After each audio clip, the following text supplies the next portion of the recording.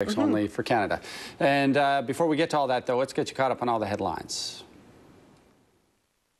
This business update is brought to you by Walk a Mile in Her Shoes, Toronto's Walk to End Violence Against Women, October 1st. Visit walkamiletoronto.org for more.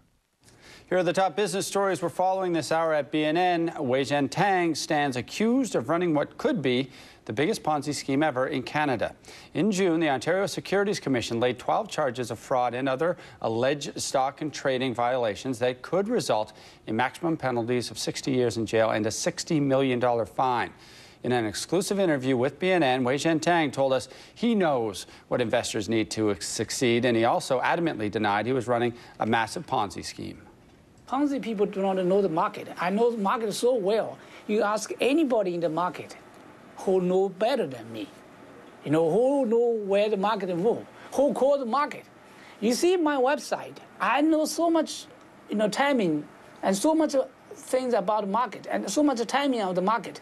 Nobody else comparable to me. Strength in the auto sector helped push Canada's wholesale sales well past expectations in July.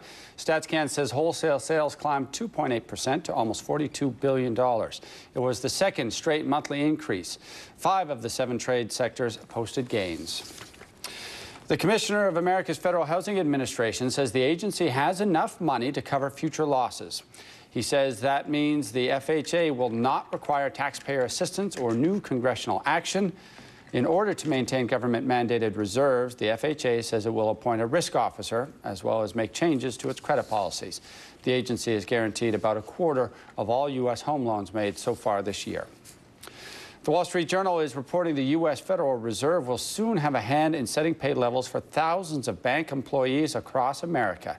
The move would mark the first time government regulators would participate in compensation decisions, which are normally the domain of the bank's boards and executives.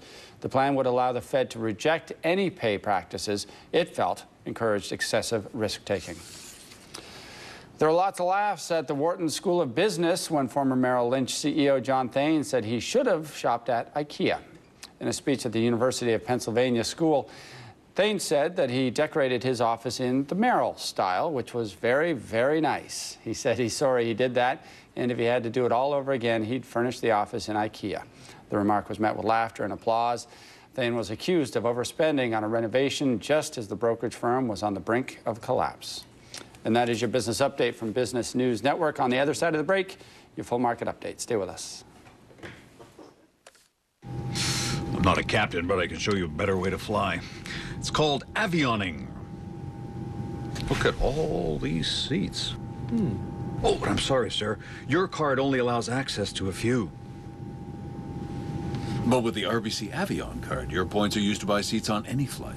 So the world is your oyster. Shuck away, my friend. Shuck away. Find reward seats on any airline. Avioning, the easiest way to fly.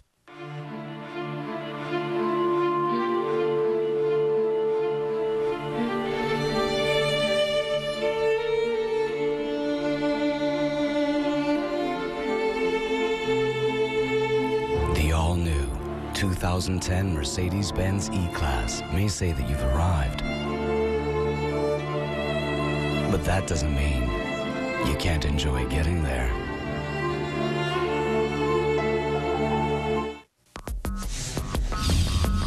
Copper Mountains Mining Project is an open-pit porphyry copper mine just outside Princeton, British Columbia. On July 30th, Copper Mountain and Mitsubishi Materials Corp signed an agreement. They did advance us $28.75 million and with those funds, uh, we did start construction earlier this spring. We finished the feasibility study in uh, 2007. More recently, we were able to add the 2008 drilling results, and they increased our resources up to about 5 billion pounds of copper. Our initial focus has to be to uh, get the mine in production, producing normally 105 million pounds of copper per year by the first half of 2011. We've had some uh, very exciting results from geophysical studies, and uh, these have given us targets that uh, warrant uh, a lot more exploration drilling.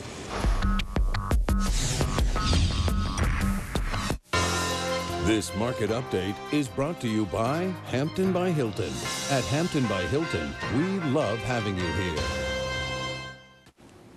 Markets turned into the red in Canada. You'll be able to see it on this intraday TSX chart. I'm showing we're down about 45 points or so. Uh, we tried to climb into the green at the open, but uh, we're sliding down a little bit. Uh, materials leading the way to the downside, healthcare to the upside. Here are some of the, um, the uh, laggards first. Let's look at the weak stocks, uh, mostly golds and oil. Uh, you can see CP Rail also down on the Stifel Nicolaus sell rating that came out this morning. On the leadership side, we have the financials, some of the financials, including Manulife, following that uh, presentation they did at the Scotia Summit yesterday. RIM must have been overflow from the U2 concert here in Toronto yesterday. There were a lot of blackberries there. SXC Healthcare, despite the fact that they priced that issue at 4150 that's a US number. This thing is on wheels. They couldn't get enough of it. They had to bump the offering. In the United States let's look at those markets uh, which are still in the green. Uh, right well actually the Nasdaq and the S&P just now slipping into uh, negative territory. The Dow still higher largely because of two upgrades. One was Chevron. The other was Procter and Gamble. Citigroup going to buy on this name. They have a $66 target.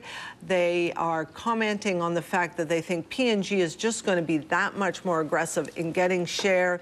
And some of these uh, consumer staple stocks have lagged the market. You may see some more upgrades. Uh, but P&G is the one this morning, and that is your market minute on the Business News Network. And the federal finance minister right now is set to announce potentially a consultation period that may lead to the elimination of all remaining import tariffs on machinery and equipment. At least that's according to a report in the Globe and Mail today. Now McGee has been taking a look at this story now. Yeah, we do not have confirmation yet from the finance minister. I called uh, finance minister's office. They say they've seen the report, but right now they have nothing yet uh, to announce. But uh, here's what the Globe and Mail is reporting. The Globe and Mail is reporting that the finance minister will announce a consultation period that will last about seven weeks that will look at the possibility of eliminating all remaining tariffs on machinery and equipment. And um, this, of course, would have potentially a positive impact on companies, for example, that deal in the auto parts sector, printers, sawmills, any industrials that really have to import parts as part of their building uh, of machinery. And according to the Globe, in the uh, announcement that the minister is, uh, will make, uh, that uh, the minister is saying it will give a short-term boost to the manufacturing sector and also give Canada a long-term competitive edge. How expensive are these imports for Canadian manufacturing? Um, I spoke to someone at Export Development Canada. It does not seem to be a huge issue right now, primarily because of NAFTA uh, Canadian manufacturers don't really uh, aren't really subject to any massive imports currently from Mexico or the U.S. because of NAFTA. The export development person told me that's more it's more to do with over the pond uh, imports. So if, if, Canadians are importing stuff from Europe or Japan, then potentially. For sure, there'll be some savings. I should also note that the minister has already made some uh, progress on this front. In January, uh, the minister eliminated about uh, $440 million worth of import tariffs that were remaining at that point, and uh, uh, reportedly the value of the remaining import tariffs that may be eliminated is only about 300 million. So it doesn't seem mm. like, it, like it'll be a huge deal in terms of dollars saved for Canadian manufacturers, but a little bit is a little bit, I guess. Interesting coincidence that the G20 just happens to be coming up next week. It is coming up next week, and uh, we should remember as well that the U.S. caught in a little bit of a trade spat with China over um, uh, imposing 35% um, tariffs on uh, the import of Chinese tires. So uh, potentially, I guess we can ask some of our guests about this. Does this put Canada in a more favorable, favorable light vis-a-vis -vis the U.S. Next uh, next week's uh, G20 summit? The WTO had also recently complained about policy slippage amongst the G20. In other words, people, um, you know, getting a little looser on, uh, on uh, trade are becoming more protectionist, uh, I guess, essentially. So does this put Canada in a more favourable light vis-a-vis -vis the U.S.? We'll ask some of our guests that later today. All right, thanks now. Thanks, guys. We're going to stick with trade again just for a little bit while uh, a little bit longer now. Right now, there is a new index just been created to measure how much it costs to transport items across Canada by road. It's called the Canadian General Freight Index and it was launched this month. For more, we are joined by the company behind the CGFI. It's Doug Payne. He's the newly appointed president at Nulogx. Doug, great to have you in. Thank you. Now, explain this index. First of all, where is the data coming from? How do you calculate it? Well, the data is coming from our database of, of information where we have over 2 million transactions a year, and we, which provides about a billion dollars of freight spend. We've taken that data, working with Dr. Ellen Shape, uh, to statistically validate the accuracy of the information to be able to produce this to the marketplace.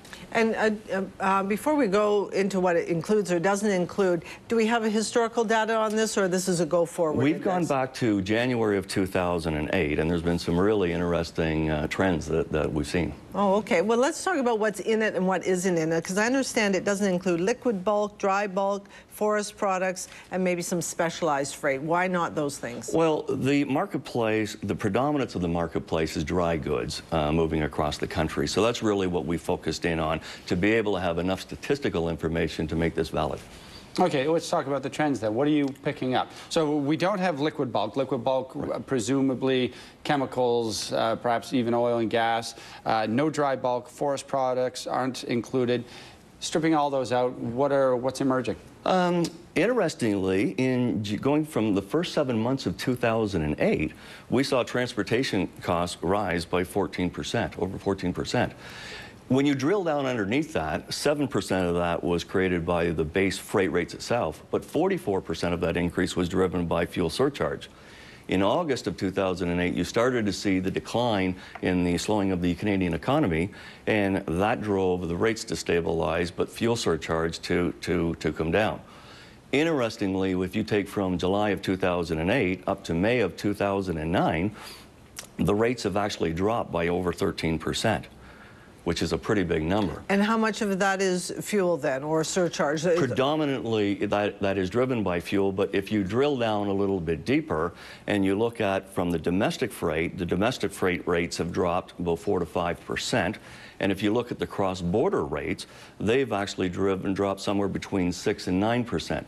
Part of that is from the weakening Canadian dollar, and the other part of that is through freight increases, predominantly in the truckload sector.